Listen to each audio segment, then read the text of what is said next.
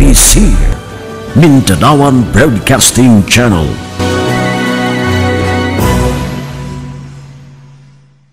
This is MPC Mindanawan Broadcasting Channel.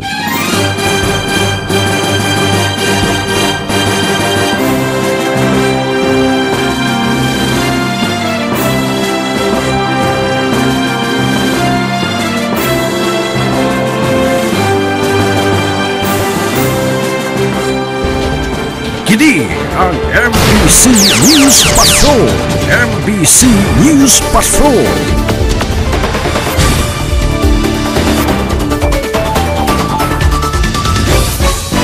Mga balitang untanon, batas ug labas.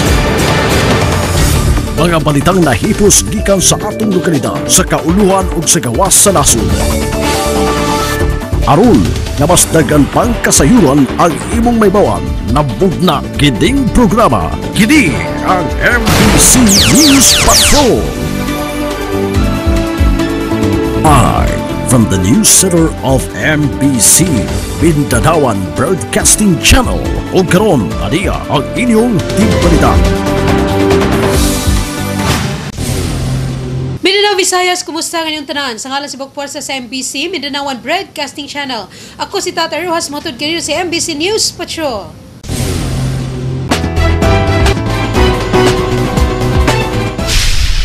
Sa atong headlines. Northern Mindanao dili na appeal sa second wave sa SAP. Mayor Acosta nagpahungaw siyang kasuko sa Tagam Welsi 1. 34 ka pulis tudila balik trabaho na human gi quarantine. Congressman Jiguti nagpasalamat kang Congressman Waminal. 20 ka rebelde patay sa enkwentro sa Surigao del Sur. Mga sundalo yawi sa panag-uli sa duha ka pamilyang nagrido sa Lanao del Sur.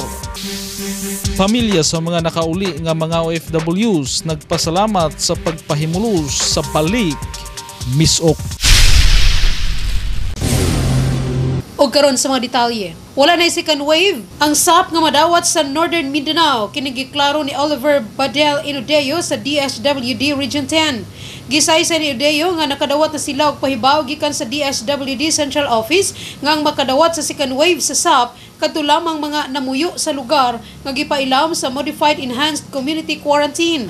Aban ang Northern Mindanao nga naa lamang sa General Community Quarantine gumikan nga nahanay na kini sa low risk area busa wala na kini maapil alang sa second wave sa Social Amelioration Program. As of this moment, uh, gipabalo namin nga ang katong wala na pailalom sa enhanced community quarantine dili na maapil og dawat sa social amelioration program na emergency cash assistance. That is why since Northern Mindanao naamon ta sa general community quarantine, wala na pabuton pa. Except for those katong nakahatag o na endorse na namo nga naa sa COVID intake uh, card or CIC kay nahatag na sa DSWD Field Office 10 ngadto sa DSWD Central Office and DSWD Central Office na endorse na ngadto sa Department of Finance for Funding. Sa laing bahin, nagatalag duha ka bagong kaso sa COVID-19 ang Region 10. Ato sa press conference nga gihimo dili pa lamang dugay gipalanog ni DOH Regional Director 10 Adriano Subaan nga pulos mga lalaki ang nagpositibo sa coronavirus. Una, mga usa ka 26 anyos nga lalaki nga taga Iligan City. Nakasinati siya og panakit sa ulo nitong May 19. Sa pagkakaroon kamulong verify ang iyang history of exposure o ang pag-trace sa mga tao nga adunay direct contact kaniya. Kasamtangan siyang ipailaw sa hugot nga pag-quarantine sa usa ka isolation facility din among individual human kinig miabot gikan sa Cebu City. Ikaduha ang usa ka 45 years old lalaki nga taga Bukidnon. Siya usa ka health worker ug dunay pre-existing condition nga hypertension. Kamulo na ang pag-contact tracing, lakip na ang pag-verify sa history of exposure. Kasamtangan usab nga gipailaw sa hugot nga quarantine sa usa ka isolation facility sa probensya ug nagpabilin kining asymptomatic. Nasayran nga sa ginatibukan ang Northern Mindanao adunay 24 ka mga confirmed cases of COVID-19. 14 niini naka-recover, walo ang namatay, duha outpatient. Gipahinumdum lamang sa regional director nga kanunayan ang pag-obserbar sa social distancing, pagsulob og face mask ug ang paghugas sa kamot gamit ang tubig ug sabon o kaha-alkohol ug ang pagpabilin sa balay kung wala importanteng buhaton sa gawas sa panimalay. Sa bahin, wala makatingog ang mga opisyal sa Misamis Occidental 1 Electric Cooperative kon Muel si Uno sa dihang giklaruhan ni Mayor Lemuel Acosta sa Rekiata nga nasuko na ang katawhan sa Rekiata sa serbisyo sa Muel si Uno. Ato sa special meeting nga gihimo sa mga mayor sa distrito uban sa mga opisyal sa Muel si Uno nga gipasayo ni Congressman Jegote gituki ang kalabot sa upat ka adlaw nga brownout sa Muel si Uno nga wala makahatag sa igong pagpasabot sa mga tao. Kini hinungdan nga bisan kon negosyo sa MLC ang paghatag og kuryente sa mga konsumante apan sila mga leader sa lokal nga kagamhanan ang gisaway sa mga tao. Sumala pa kang Mayor Acosta nga daghan sa taga-Uriquiata ang nasuko kay nangaguba ang ilang mga appliances gumikan sa siga palo nga paagi sa MLC ladtong higayuna. Gani, gumikan sa kanunay na nga ingon niini ang kasinatian sa mga tao sa Uriquiata Gidanggaan na lamang ang syudad og brownout capital sa Misamis Occidental nga nakapusubo pag-ayo sa mayor. Nasayra nga dugay na ang maong suliran nga nahitabo kini sukad pa netong siya nahimong vice mayor ug hangtod karon nga nahimo ng amahan sa dakbayan walay nakita nga kausaban sa serbisyo sa MLC. Gani, nakahisgot pa si Acosta nga hayon mo resulta sa legal nga paagi gumikan sa daghang kadaot nga nahimo sa mga butang sa taga-Uriquiata gumikan sa supply sa kuryente sa MLC 1. ang tag-iya sa Mulsi Uno ang atong mga konsumante publiko. Ang atong mga konsumante publiko kining atong gidiscuss karon hagbay ra ni natong gihisgutan sa una pa Vice Mayor pa ko maura gyud gihapon ang problema. Ang nakapait nato wa nato paminawa ang mga tag-iya sa atong korporasyon. Then karon here you come na kami inyong pasulbaron ano inyong problema.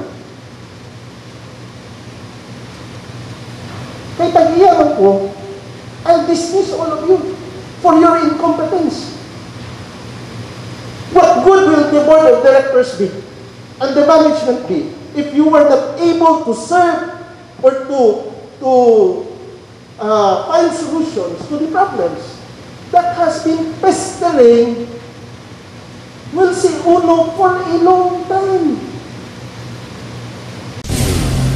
Nasara nga nahitabo nga brownout sa maying simana, nagsumikad sa kakulangon og samtang nagpadayon ang diskusyon giangkon sa MLC Uno nga ilang sayop. Gisaad sa kadagkuan sa MLC Uno sa pagpanguna ni GM Ruben Bonalos nga dili na masubli pa ang maong hitabo kay ilan na nga nakita kung sa man ang kakulangon nga ilan ang usab nga gipadayag atol sa maong panagtigom. Una niini, gidayag ni Congressman Jegote ang pagkabukas sa pagbati ni Mayor Acosta nga naghatag usab og pasidaan sa manager o sa board of directors sa MLC Uno lakip sa mga division chief nga ang mga opisyal sa lungsod ug syudad nga ilang giserbisyuhan kanunay nga naminaw sa unsay mulo sa mga tao busa ngayon lamang usab nga paminawon ang og seryosohon sa taga MLC Uno ang ilang serbisyo. We are accountable to our people. Ang problema sa Mulsi, kinsa may gitawagan sa mga tao, kamo ba or ang mayor? Namang mga mayor dali karon.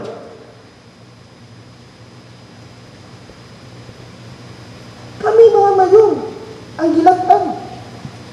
Ang ninyo will reflect our performance. Mauna kami peace of mind. Ako din mong panungduman. Kaya kami, as I have said, we are accountable to our people. After three years, kung among mga tao, di ganahan na mo, they kick us out. Kung karoon po, among mga tao, ang konsumante publiko sa Oroqueta nga pinakadak-an ninyo nga konektor. Naulit na si Francis Unong.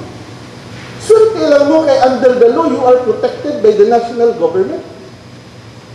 We cannot create another power utility to distribute energy in our in our uh, franchise area.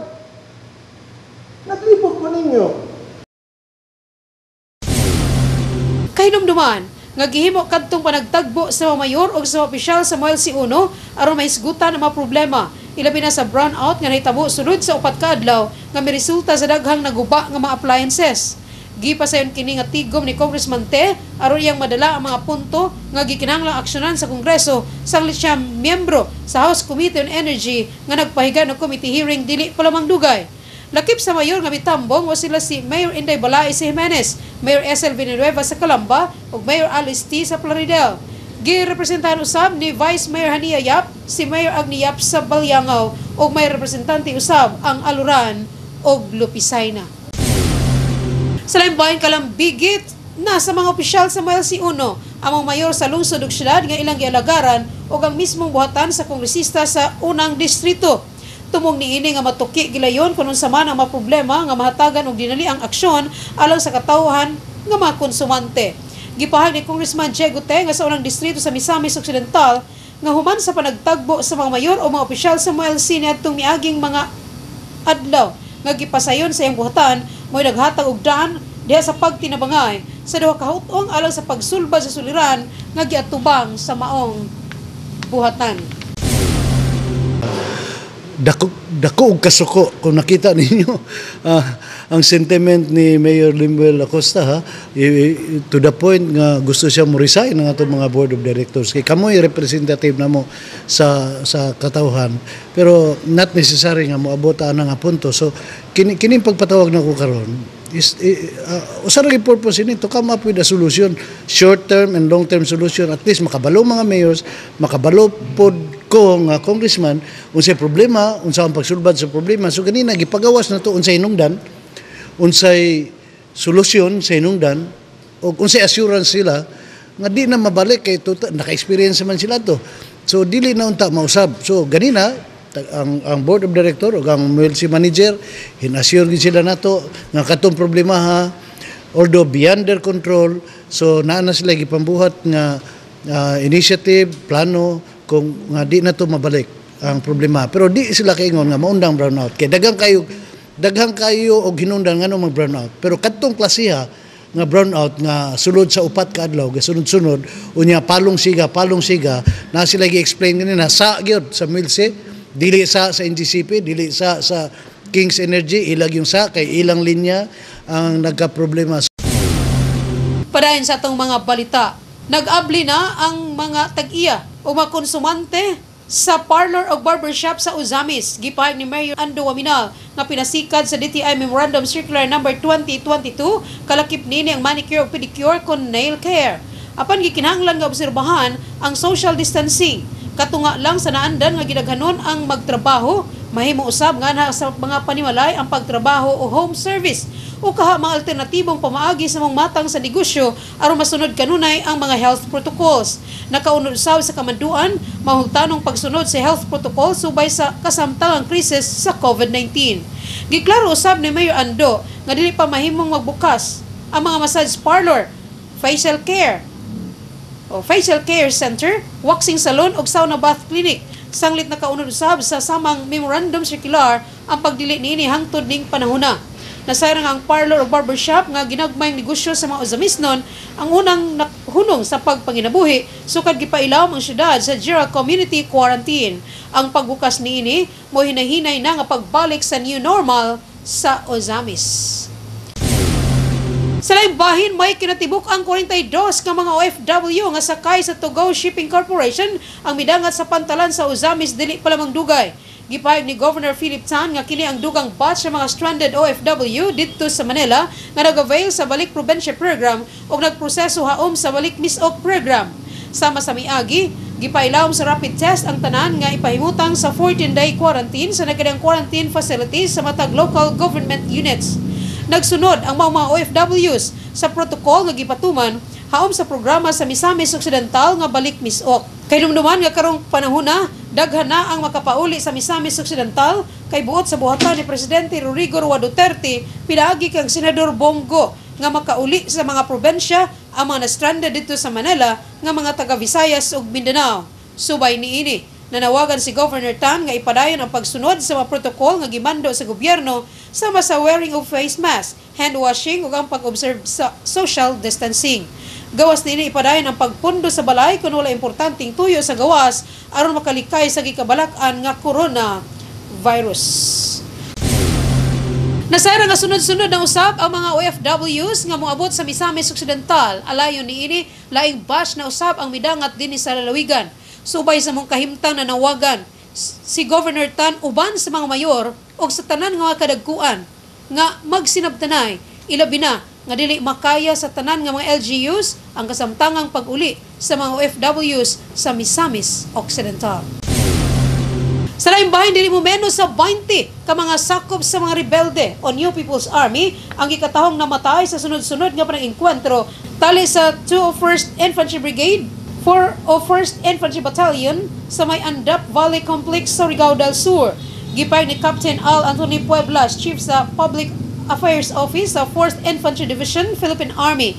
Kita doon ay operational control sa 401st IB nga ang inkwentro nagasugod nitong Mayo 14 hangtod sa Mayo 19. Gidugang pa ni Pueblas nga mga rebelde sakaw sa CPP-NPA North Eastern Mindanao Regional Committee, NEMRC o NEMRC.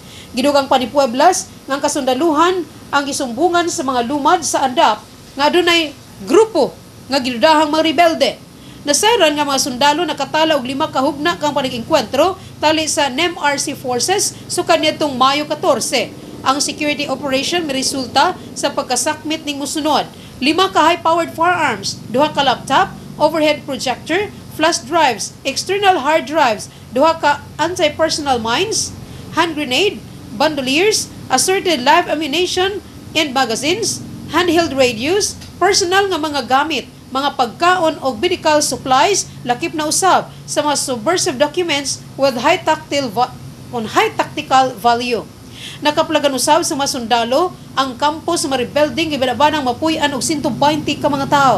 Gituhuan ni Pueblas ang laptop nga nasakmit sa mga sundalo gipanag-iya o gigamit sa usa ka Mir na Sularte alias Malaya ang secretary sa NMRC ug usa ka Alvin Luque alias Joaquin Jacinto ang spokesperson sa Commission Mindanao Concomed ang mga staff ni Solarte ang diha usab atol sa enkwentro nga nailang sila si Alfe Masinataw Basa alias Mumoy, Vice Commanding Officer sa Regional Headquarters NEMRC, Lorna Pamutungan Gomez alias Mumay, ang medical staff sa RHQ Original Headquarters sa NMRC. Gituhuan sa mga sundalo nga mga tag-as opisyal sa mga rebelde ang samaron. Kauban ng ilang mga commander samtang sila miskapo gikan sa kamot sa mga sundalo. Gumikan sa daghang dugo nga ilang nakita sa dapit na hitubaan sa enkwentro. Gipasabot ni Pueblas nga gubikan sa sunaop nga lugar ug ang kabakilid niini na sinati usab ang kalisod sa pag-ugat sa mga patayng lawas. Ang trupang militar nagpadayon silang pagbantay ug pagsuhid sa lugar aron makaplagan ang uban pang nagtago nga mga sakop sa rebuilding grupo Padayon sa tong mga balita. Malampuso ng pagdangat sa 152 ka mga misamisnon nga mga OFWs kinsa mo'y gikarga sa sweeper flight sa AirAsia gikan sa Manila paingon sa Ozami City Airport. Kini napasayon pinagi sa pagtinabangay sa mga lideres sa lalawigan sa pagpanguno ni Governor Philip Tan, Vice Governor Gigi Almonte, mga board members, uban sa suporta sa mga kawani sa Kapitolyo mga lungsod, lakip na sa mga mayor. Mapasalamaton usab si Governor Tan kang Deputy Speaker Henry Waminal ug sa tanang mayor sa lungsod ug syudad, mga doktor, kapulisan ug sa mismong management sa AirAsia nga napasayon ang biyahe sa mga mga OFWs. Gipasabot ni Tan nga gisunod sa OFWs ang protocol haom sa balik probensya program nga gipatuman sa Interagency Task Force pinagi kang Senador Bongo ug sa balik MISOC program gi-rapid test una ang mga OFW so wala pa sila gipasakay sa eroplano dito sa NAIA Terminal 2 nga gipasayon usab mismo sa DOH. Ang 152 adunay negative nga resulta sa rapid test busa nakasakay sa mga eroplano samtang pito ang nagpositive busa wala makadayon sa pag-uli. Hinon gipasabot ni Tan nga giatiman gihapon ang mga OFWs samtang nagpabilin sila dito sa isolation facilities sa kauluhan. Ang 151 ka o 152 ka mga FWs gitagbo sa Ozami City Airport sa nakadang local officials sa LGUs nga sila gihatod sa nakadang mga quarantine facilities. Nasara nga taas nga proseso ang giagian sa mga FWs ay sila nakabalik sa Misamis Occidental human sa kasamtangang krisis sa COVID-19. Apan bisan pa man niini, ang pamilya sa mga OFWs mapasalamaton ngadto sa tanan nga nahimong instrumento sa ilang paguli sa yutang na tauhan. Kay dumduman nga OFWs dakog tampo sa panudlanan sa gobyerno pinagi sa ilang buhis. Una niini, gipahag ni Presidente Rodrigo Roa Duterte ang tanang na stranded sa Manila nga taga-probensya gikinahanglan nga makapauli silang Pinoyanan og kini ipasayon sa gobyerno. Nasara nga gidawat sa Interagency Task Force ang balik probinsya program nga giduso ni Senador Go aron maminusan ang tao sa Metro Manila di nagkataas ang kaso sa COVID-19. Gituhuan nga pinagi sa malampusong nahimo sa Misamis Occidental, mabasihan kini sa ubang probensya aron usab makapauli ang ilang mga residente. Alayon sa pito ka mga nag-positive sa rapid test ato sa unang test nga wala nakasakay sa unang batch sa sweeper flight sa Air Asia. Sa pinaka-latest, makapauli na ang nahibiling pito. Sanglit nagnegatibo na sila sa swab test og sila magsunod na sa pag-uli sakay sa dugang batch sa mga returning OFWs sa Misamis Occidental. Congratulations sa tanan nga nakapauli o sa mga tao nga nahimong kabahin sa malampuson nga paguli sa mga returning OFWs sa Misamis Occidental. Sa live bahay na nawagan karon si Misamis Occidental Congressman Jay Gute sa 1st District ngadto sa Interagency Task Force nga tugutan mag-angkas ang duha ka tawo nga magsakay sa motor single. Gipasabot ni Te nga wala angayang ikabalaka mahitungod sa pagtakod sa coronavirus sibo sa gibarugan sa maong kongresista saglit kauban man og puyo sa usa ka panimalay ang mga magtiayon og mga sakop sa banay. Gidugang panite nga diha sa sud sa balay, wala mag-obserbar og social distancing, busa dili angayang pugnan ang mag-backride nga nagpuyo sa usa ka panimalay. Gila ni Te nga anti-poor ang pagbawal sa angkas, sang litadaghanan sa mga pobre ang napiktuhan, samtang mga tag-iya og kotse tugutan nga sobra sa isa ang makasakay. Isugyot sa kongresista nga maghimo lamang og mekanismo ang matag lokal nga kagamhanan ilabi na sa mga barangay aron masiguro nga kauban mismo sa balay ang magsakay sa motorsiklo. Nasara nga dako kayo tabang ang pag-angkas sa motor niyaning kasamtangang pagbukas sa ekonomiya ilabi na sa mga kabus. Gikinahanglan ang pagtugot sa angkas aron makadaginot sa pamasahe ilabi na nga may balik na silang tagsatagsa ka mga gitrabahuan ang katawhan.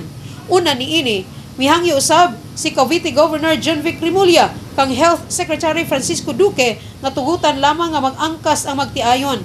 Gipasabot ni Rimulya nga kanunay man ang pag-inambitay sa magtiayon sa bisan unsang aspeto sama sa pagsalo sa pagkaon ug uban pa bisan sa pagsakay sa kotse.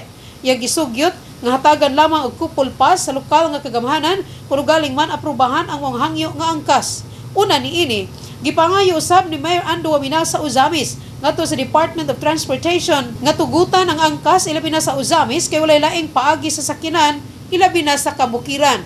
Gani, gumikan kay gibawal ang angkas kadaghanan sa mga tao sa bukid ang magbaklay paingon sa sentro nga nakapahasol pag-ayo. Sa programang laging handa ni PCOO Secretary Martin Andanar, gipadangat ni Mayor Ando ang yang hangyo ngadto kang DOTR Assistant Secretary for Communications in Commuter Affairs Goddess Hope Liberan ang maong katuyuan apan gikatarungan ni Lipiran nga dili maobserbar ang social distancing o gana ang posibleng pagtakod sa virus musa gibawal ang angkas sa motor. Nasara nga pag-angkas sa motor ang may paagi nga mas pasayon ang pagpadagan sa mga gagmay buhatan, tindahan o opisina ug mas dali ang pagpasayon sa mabuluhaton o paghatod og serbisyo ngadto sa katawhan. Sa laing bahay mapasalamaton si Misamis Occidental 1st District Congressman Jay Gote ngadto kang Deputy Speaker Henry Waminal kinsa representante usab sa 2nd District sa Misamis Occidental. Kinigumikan sa iyang tabang nga gihatag isip tampo sa pondong gigahin sa provincial government o sa LGU Orquiata alang sa mga frontliners. Ato sa press conference, gipahayag ni Te nga mihatag si Congressman Waminal sa mga frontliners nga taga Orquiata o kini tabang isip siya Deputy Speaker sa House of Representatives. Apan sumala pa kang Te nga boto sa, sa mga frontliners sa ubang lungsod sa 1st District nga makadawat sa samang ayuda gikan sa Deputy Speaker.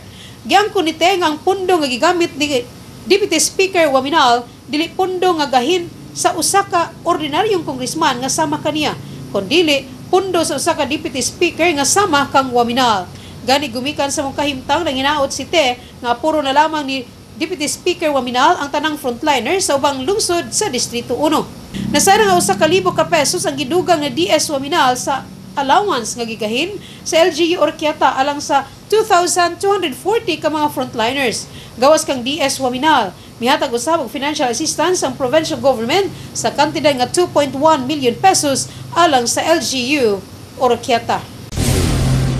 nga si Congressman Henry Waminal nang hatag sa Oroqueta City. Pero nalay apan, wala to problema. Nindot unta kayo ang ang ang iyang ang iyang purpose. Pero nalay mga nalay mga epekto no nga nahitabo. So ah, like daghan na suko social distancing. Karon daghan po nanawag nako, Congressman, ina po si Congressman sa 2nd District B patagaan pod mi taga Jimenez. Asa man pong paras taga Aluran, asa man taga Plaridel ngano Urokita raman. Pabor-pabor dinhi di aso ako. Mapugos ko pangita ini asa mo ko mangita ini tapal nga dili ra ni budget sa ordinaryong congressman. Budget siguro ni sa usa ka deputy speaker siguro.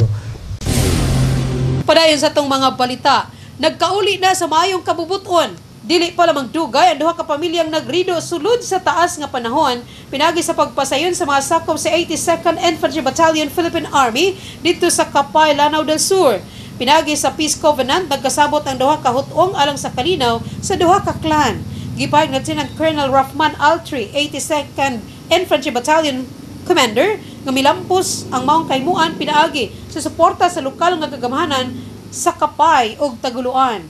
Ang clan sa Ilyas ug Musama ang nagtanyag M16 A1 rifle isip timaan sa ilang kahibalo diha sa paghunong na sa ilang rido.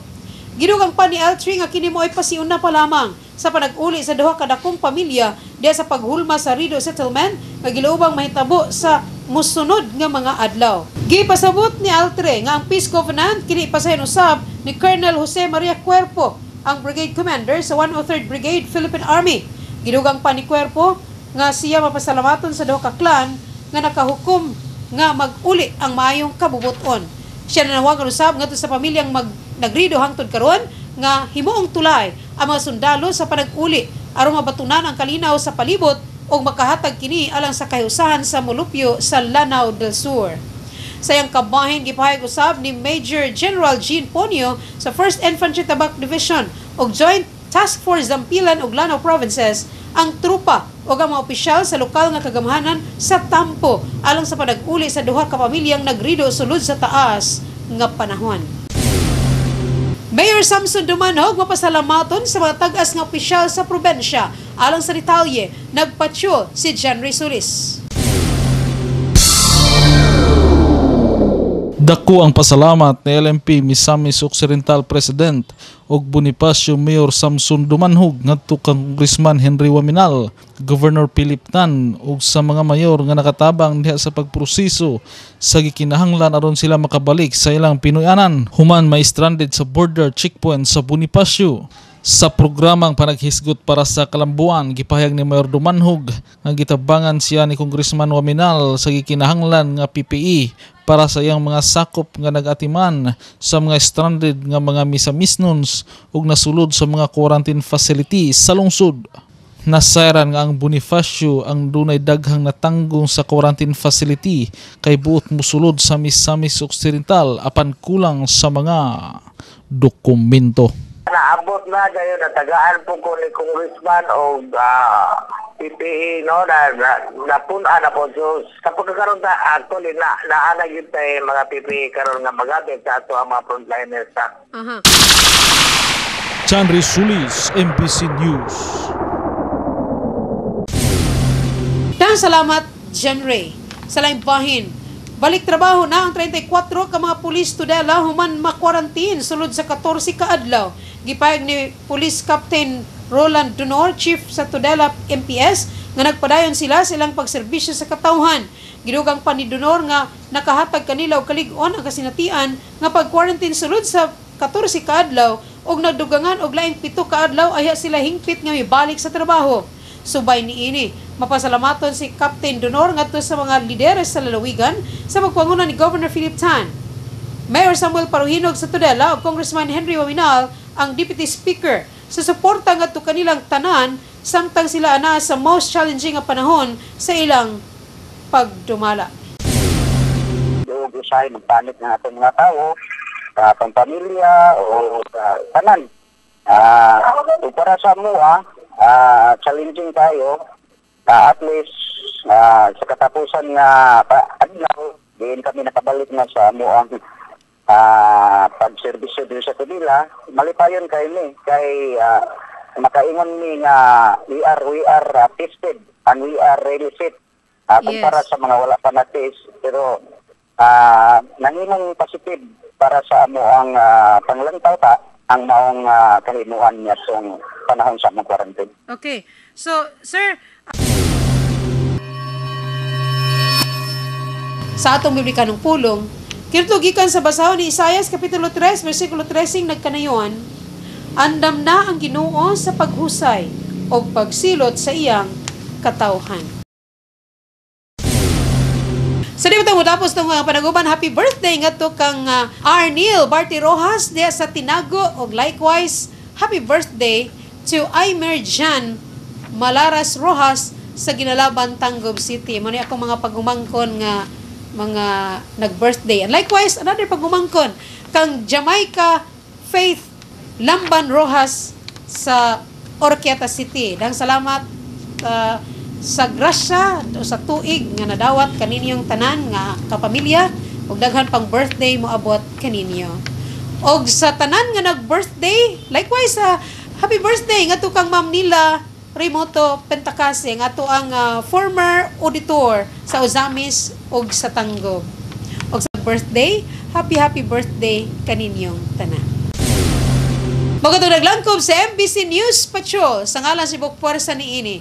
Ako si Tata Ruhas, magpasalamat kaniyong tanan ug muingon kung ikaw maayo gigiyahan ka sa pagkamatinud-anon. Daghang salamat.